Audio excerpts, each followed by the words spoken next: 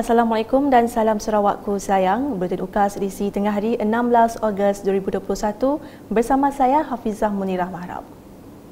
Memulakan berita dengan perkembangan semasa COVID-19. Sarawak merekodkan kes positif tertinggi dengan mencatat sebanyak 1,566 kes baharu pada Isnin. Jawatan Kuasa Pengurusan Bencana Negeri Sarawak JPBNS dalam kenyataan media memberitahu kesemua kes baharu itu dikesan di 23 daerah di negeri ini untuk melonjakkan jumlah kumulatif kepada 88,572 kes. Kuching merekod kes tertinggi dengan 731 disusuli daerah-daerah lain seperti berikut.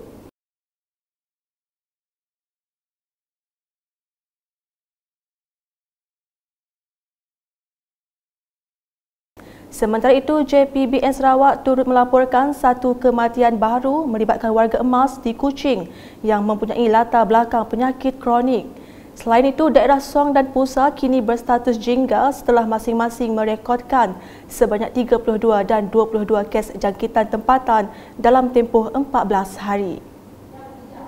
Dalam perkembangan berkaitan, Jabatan Kesihatan Negeri Sarawak JKNS menyarankan agar hanya golongan yang telah menerima dua dos vaksin dibenarkan beroperasi dan bekerja khususnya di premis tertutup. Dalam kenyataannya, JKNS memaklumkan langkah itu disarankan berikutan peningkatan kes COVID-19 berpunca dari varian Delta serta penambahan kluster tempat kerja. Selain itu, JPBN Sarawak turut mengisytiharkan sebanyak 107 kluster dan 19 kluster aktif diisytiharkan mempunyai penambahan kes baharu seperti tertera.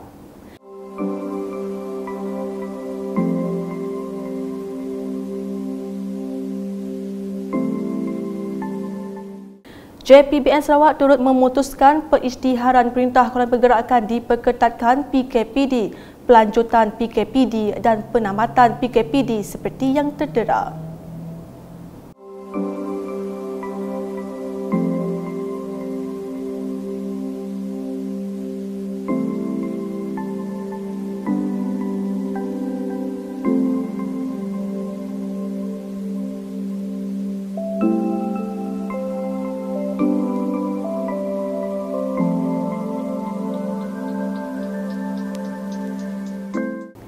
Berita seterusnya, Kerajaan Sarawak menerusi Jabatan Kerja Raya JKR Sarawak telah membeli aset logistik yang akan digunakan petugas kawalan keselamatan sempadan dalam Op Benteng COVID-19 Brigade Sarawak PGA bahagian Miri. Kesemua peralatan ini telah diluluskan Ketua Menteri Sarawak dan Jawatan Kuasa Pengurusan Bencana Negeri JPBN Sarawak untuk digunakan mengawal sempadan Sarawak di wilayah utara. Menurut Menteri Bertanggungjawab Jawatan Kuasa Pengurusan Bencana Bahagian JPBB Miri yang juga Menteri Pengangkutan Datuk Lee Kim Shin, kesemua peralatan ini diserahkan kepada Brigade Sarawak PGA Bahagian Miri bagi mengawal sempadan Sarawak di Long Banga dan Bario.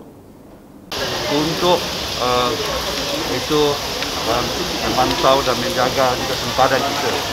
Jadi empat buah kenderaan ini, itu dua kamera dan dua all terrain vehicle akan digunakan di uh, Long Bangak di Bario ya iaitu untuk mengawal sempadan kita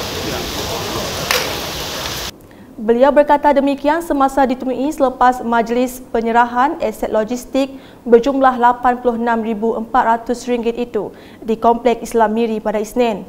Antara aset yang dibeli dan diserahkan ialah seperti tertera.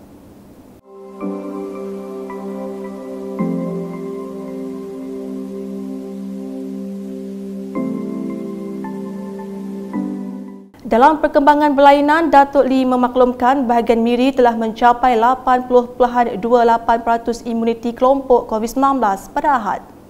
Beliau memberitahu seramai 278,804 orang atau 89.63% daripada penduduk dewasa berumur 18 tahun dan ke atas di bahagian Miri telah mendapat dos pertama manakala 249,712 atau 80.28% pula telah mendapat dos kedua sekaligus melengkapkan program imunisasi COVID-19 kebangsaan PICK pada 15 Ogos 2021. Sehubungan itu, Datuk Lee dalam kenyataannya pada Isnin mengucapkan penghargaan dan terima kasih kepada petugas Barisan Harapan. Terdahulu, beliau telah melakukan tinjauan di tiga pusat pemberian vaksin PPV iaitu PPV Dewan Datuk Lee Tekfuk, PPV Dewan Eastwood Valley dan PPV Dewan University Curtin. PPV Dewan Datuk Lee Tek Fuk akan berhenti beroperasi sebagai PPV awam selepas 22 Ogos 2021 dan program vaksinasi seterusnya akan disambung di Hospital Miri pada hari Sabtu dan Ahad sahaja. Bagi penerima dos kedua di PPV tersebut, mereka akan menerima vaksin di Hospital Miri dan perlu hadir mengikut tarikh yang telah ditetapkan. Sekiranya mempunyai sebarang pertanyaan, boleh berhubung terus dengan unit vaksinasi hospital Miri di talian 085 422 634 dan 085 422 734. PPV lain di daerah Miri masih lagi kekal beroperasi sehingga 31 Ogos 2021.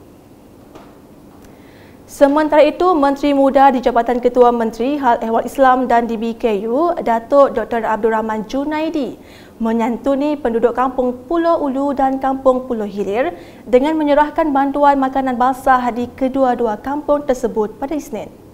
Adun Pantai Damai itu telah menyerahkan sumbangan sebanyak 260 pek makanan basah di kampung Pulau Hilir manakala 316 pek lagi diagihkan ke kampung Pulau Ulu.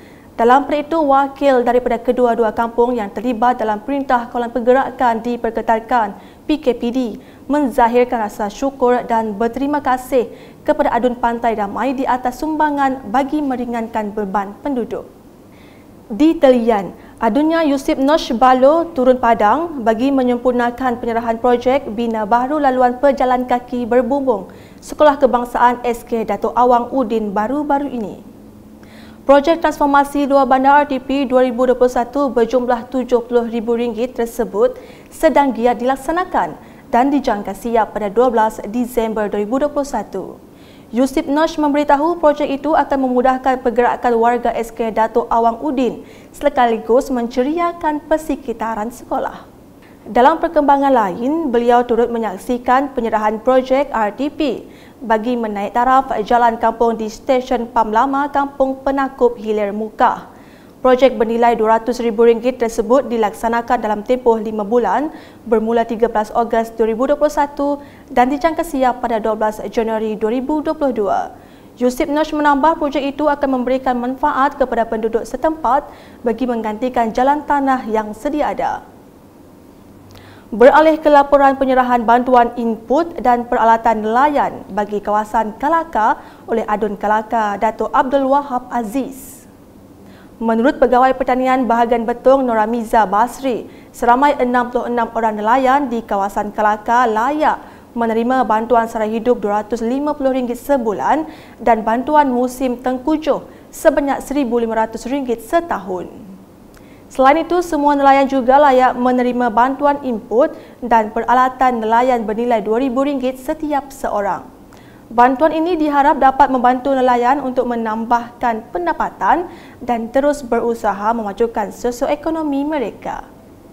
Selanjutnya mengenai penyerahan simbolik wang zakat nafas 2020 oleh Adun Macan Alan Siden Gramong.